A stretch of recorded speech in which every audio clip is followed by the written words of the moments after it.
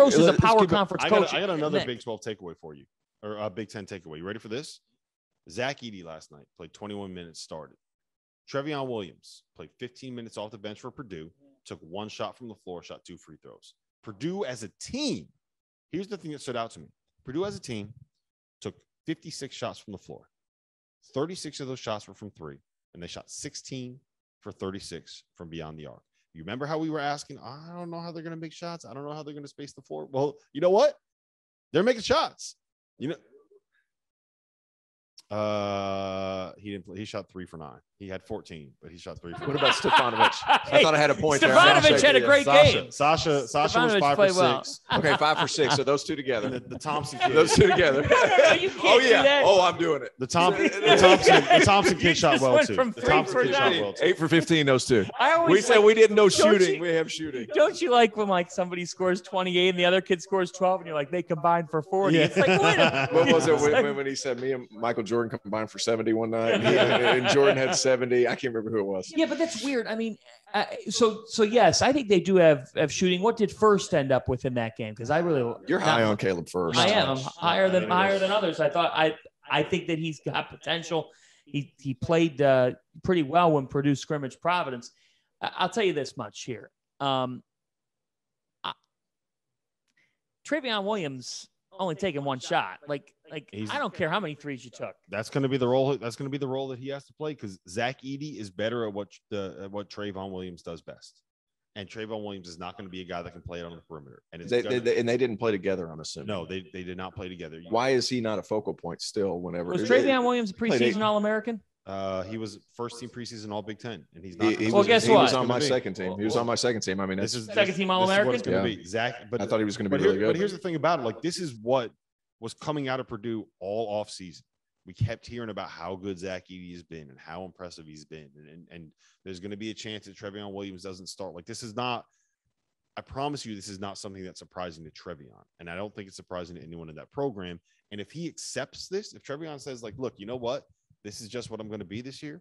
This is just what's going to happen." When uh, when Isaac Haas and AJ um, Hammons were on the same team and they they shared minutes, like senior, yeah,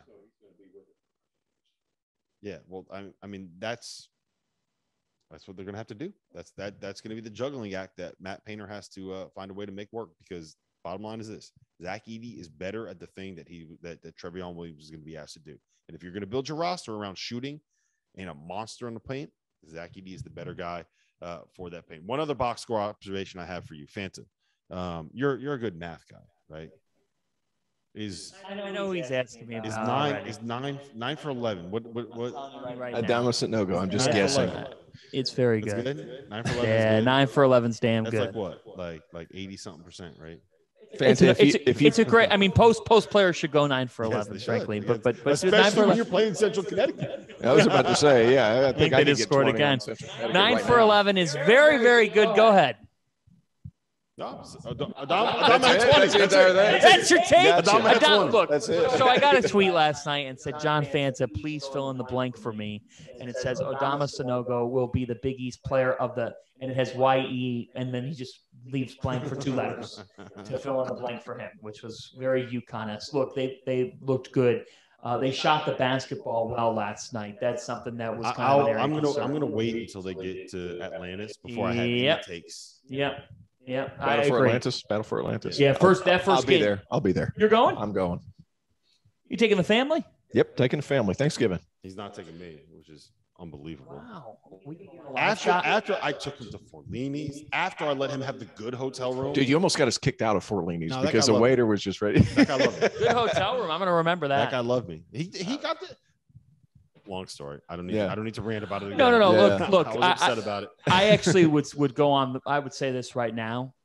Um, I think in terms of the Feast Week tournaments, there might not be a more compelling Feast Week tournament opener. Like, because this could be a semifinal or a championship game. Connecticut and Auburn is going to be a, Oh, that is fantastic. a huge, huge matchup. That is that's that's the test right there. That's Yes. that's how that's both when- teams. Yes, that's when we find out who's real. Another good performance by Auburn last night. Beat the absolute dog out of Morehead State. I'm a Morehead. I love Preston Spradlin. I think he does a nice job. They won the league last year. They've got a pro in Johni Broome. I don't know what level of pro, but he'll make some money, whether it be Mhm. Yeah, sure. overseas or whatever. But he's he- he's and gonna, Auburn just beat him. And, and their front court just overwhelmed him. I mean, he had a really hard time. I, Auburn, man, intriguing storyline. I picked him for the Final Four, and I'm having my doubts, but good start to their season. Yeah, I think they're- they'll they'll figure. Bruce just figures it out, man. He's He- unbelievable. He just he'll find a way to figure it out. You guys got anything else before we get out of here? Uh, I like Villanova over UCLA Friday night. Uh, I think Justin Moore looked excellent. Justin Moore looked like a stud. Brandon Slater with 17 yesterday. Lacaquez and, and Juzang are outstanding. I just, I like Villanova in this spot. And after what I saw from Zach Edey, I don't care who he was playing. Today, give me Gonzaga over Texas this weekend. I got Gonzaga. Since we At won't home. pod next At week, home. since we won't pod next week, I'll give you those two picks. There they are. Uh, one freshman we're not talking about right now. Tennessee had a nice win. I mean, it was a win, but Kennedy Chandler was terrific. Seven to 10, four or four from the three. I mean, I, I- I didn't credit the kid for being that good of a shooter. He has shot the cover off the ball, both in the exhibition games and game one. Uh, potential SEC player of the year. He's that talented. Yeah, he's good. He's very good. He's really, really good. What they need is someone that we talked about it with Michigan State a little bit, right? They need someone that can create and He's can that guy. that initial closeout. And Kennedy Chandler can be that guy. I'm just upset that he wasn't there last year because I feel like that's what they were missing. Hey, That's la- exactly what they last were missing. thing. Last thing for me. If Sean and Archie Miller played one on one right now, I would make Archie a two and a half point favorite. Uh, I think it's more than that. I think I think it's I think it's I think it's significantly more than that. 11 and a half point Yeah, favorite. 11 and a Okay, there you go. I think There it's you more. go. than That's that all I right now. got. That's all he got right now. Well, listen, this has been fun. What a what a what a what a great week we had. yeah, you need me to fly up here every week. Nine- I, I can do this for Nine the hours show. of live streaming uh, during the day. We had an hour long show with Archie Miller and Sean Miller last night. Mhm. We just knocked out this podcast here in the Fanta Studios, the Hoboken Yes. Studios the Field of 68. How about that? The Hoboken Studios the Field of 68. For John Fanta, for Terrence Oglesby, I'm Rob Dauster. This was the DTF podcast.